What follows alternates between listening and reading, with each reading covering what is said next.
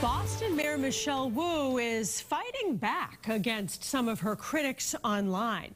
Ever since she was sworn in, the mayor has faced anti-vaccine protesters in her Twitter feed, at City Hall, even some in front of her home. And it seems that she's had enough. WBZ's Jon Keller asks social media experts, is punching back a good idea?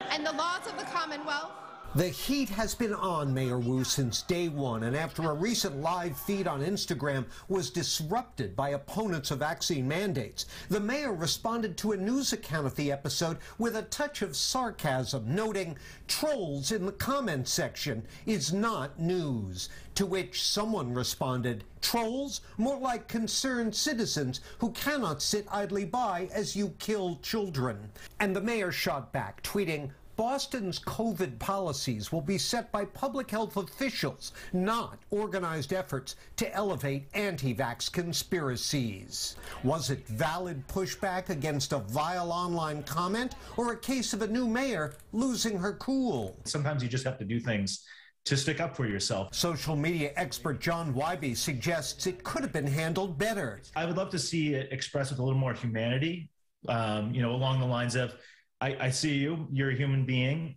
Um, you know, there's a lot that we have in common, but I think you're wrong on this. To his Northeastern colleague Meredith Clark, it's a sign that Wu's aggressive social media strategy may need a reset. One of the best things to do with social media once you've lost control of the narrative, frankly, is to step back and then to think about how you want to approach what was said and how it was handled. You stop the trolling when you eliminate the oxygen, you don't feed it. And this former mayor says it's all part of the learning curve. Don't take the bait, don't feed the trolls.